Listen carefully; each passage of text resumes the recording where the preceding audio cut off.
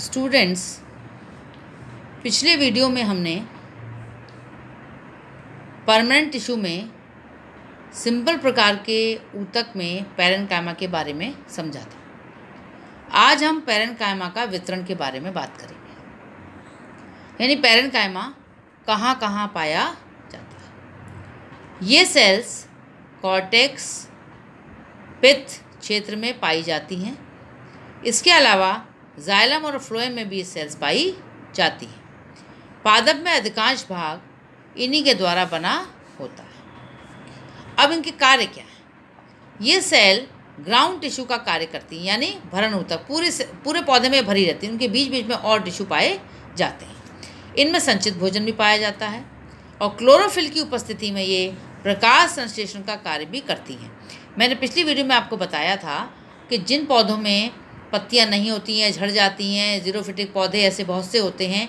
उनमें स्टेम ही प्रकाश संश्लेषण का कार्य करता है और ऐसी अवस्था में जो पैरनकायमा होता है, उनके अंदर क्लोरोफिल डेवलप हो जाता है। तो ऐसी अवस्था में जो पैरनकायमा है, उसे हम क्लोरनकायमा कहते हैं। ये पिछले वीडियो में मैंने आपको बताया था। तो इसलिए पैरनकायमा भोजन संश्लेषण का कार्य भी करती है।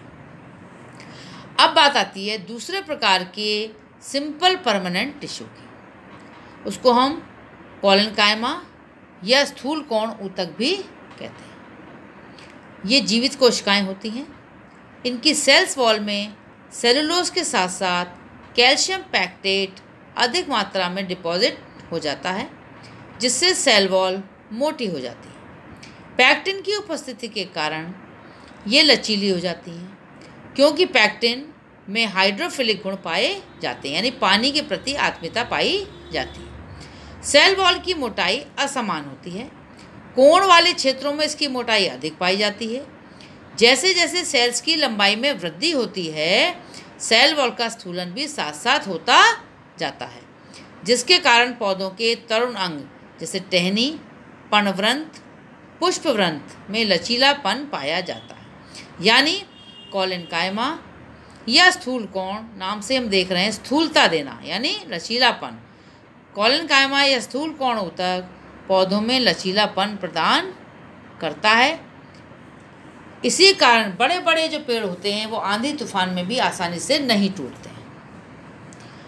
अब इसके हम वितरण की बात करते हैं। यह ऊतक डायकॉट पौधों के हाइपोडर्मिस क्षेत्र में पाया जाता है। मोनोकॉट में नहीं पाया जाता क्योंकि मोनोकॉट पौधे आपने देखा होगा, ऊंचाई लंबाई उनकी ज़्यादा नहीं होती है, चौड़ाई भी ज़्यादा नहीं होती है, इसलिए उनके में इतने लचीलेपन की आवश्यकता नहीं होती अब कार्य। इन सेल की उपस्थिति के कारण पौधों में लचीलापन उत्पन्न हो जाता है, जिसके फलस्वरूप पौधे बिना टूटे झुक जाते हैं। कभी कभी जीवित सेल्स में क्लोरोफिल की उपस्थिति के कारण प्रकाश संश्लेषण भी होता है। यानी कॉलन कायमा भी कभी कभी प्रकाश संश्लेषण का कार्य कर सकता है। अब हम बात करते हैं कॉलन कायमा के प्रकार की। कॉलन कायमा तीन प्रकार का होता है। लेमिनर और प्लेट कॉलन कायमा लेकुनर और तीसरा है एंगुलर। तो तीन प्रकार का कॉलन कायमा पाया। अब पहले वाले कॉलन कायमा की बात करेंगे। पहला है लेमिनर कॉलन कायमा। आप डायग्राम में देखिए नीचे लेमिनर कॉलन कायमा में मुख्यतः स्पर्श रेखीय भित्तियों का स्थूलन पाया जाता है। इसका एग्ज़ाम्पल है सूरजमुखी तने में हाइपोडर्मिस स्पर्श रेखी मतलब टेंजेंशियल वॉल्स जो टेंजेंशियल वॉल जो स्पर्श करती हैं, उन लैम मतलब अरिय भित्ति नहीं, अरिय भित्तियों पर नहीं टेंजेंशियल वॉल्स पर ये स्थूलन पाया दूसरा है लेकुनर लेकु लेकुना मतलब स्पेस खाली.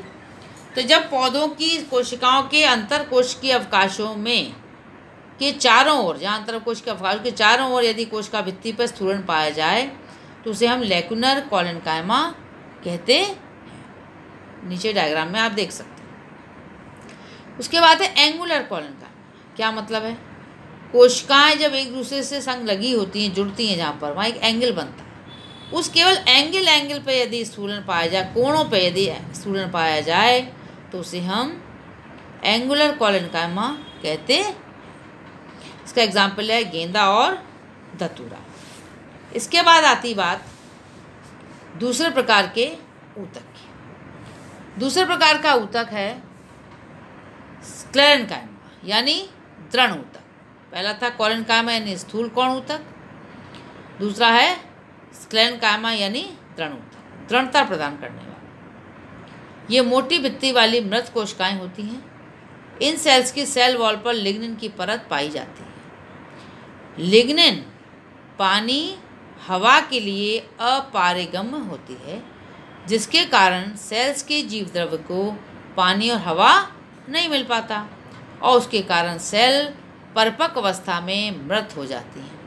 किंतु मोटी भित्ति के कारण ये पौधे, पौधों को, ये कोशिकाएँ पौधों को दृढ़ता प्रदान करती हैं। जब मोटी होंगी स्थूलन पाया जाएगा लेकिन का और मृत हो जाएँगी तो ये दृढ़ हो जाती हैं और दृढ़ता दे, ये पौधे को दृढ़ता देने का काम करती हैं। ये दो प्रकार की होती हैं, दो समूह बांटा गया पहला है स्क्लेरन कैमेटस फाइबर और दूसरा है स्टोन सेल्स और स्क्लेरीड्स तो पहले हम बात करेंगे स्क्लेरन कैमेटस फाइबर की। इन कोशिकाओं की लंबाई काफ़ी अधिक व चौड़ाई कम होती है। सिरे नुकीले होते हैं। दो सेल्स के सिरे जुड़े होने के कारण रेशे जैसी सेल्स पौधों को दृढ़ता प्रदान करती हैं। ये रेशे पौधों में उन स्थानों पाए जाते हैं जहाँ तनाव और खिंचाव अधिक होता है, जैसे पेरिसाइकिल जाइलम फ्लोएम रेशों की लंबाई दो से लेकर तीन मिलीमीटर होती है। लेकिन कभी कभी इनकी लंबाई पचास से लेकर साठ सेंटीमीटर भी हो सकती है, जैसे जूट या पटसन अब ये जो स्क्लेरन कैमेटस फाइबर हैं, ये तीन प्रकार के होते हैं। पहला है जैलरी और वुड फाइबर, दूसरा है एक्स्ट्रा जैलरी फाइबर और तीसरा है सरफेस फाइबर अब जैलरी फाइबर ये वुड फाइबर की हम बात करेंगे। ये वुड फाइबर का मुख्य हिस्सा होते हैं एवं ट्रैकिड्स के साथ पाए जाते हैं। कौन से वाले? जैलरी या वुड फाइबर जाइलम के संग मतलब जालरी का मतलब ही जालम के संग पाया जाना तो ट्रैकिड्स के संग पाए जाते हैं। अब ये दो प्रकार के होते हैं। पहला है लिबी फॉर्म फाइबर ये फ्लोएम फाइबर के समान होते हैं। इस पादप की वाहिकाओं से लंबे होते हैं। भित्ति मोटी होती है और सिंपल पिट युक्त पाई जाती है। किसमें? जैलरी वुड फाइबर का पहला प्रकार, लिबी फॉर्म फाइबर।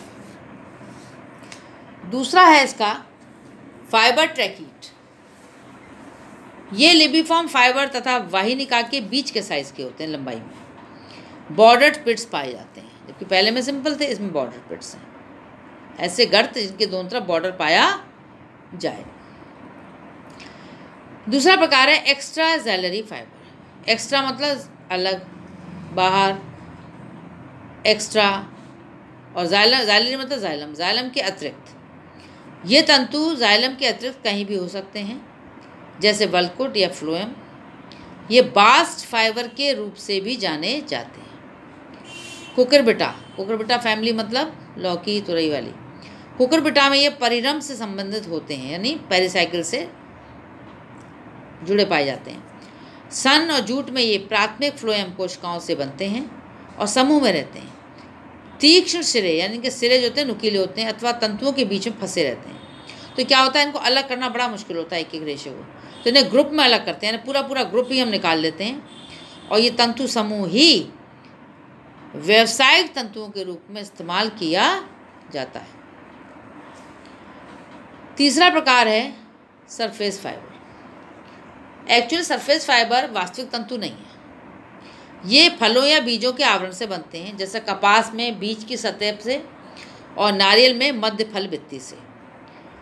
जब ये वास्तविक तंतु भले ही नहीं है, लेकिन इनका उपयोग किया जाता है व्यावसायिक तौर पर, जैसे कपास का हम कपड़े बनाने में करते हैं और रस्सी बनाने में हम नारियल का मध्य जो फल बित्ती है, उसके रेशों का उपयोग करते हैं। तो surface fibre is not real fibres लेकिन इनका उपयोग व्यावसायिक होता है।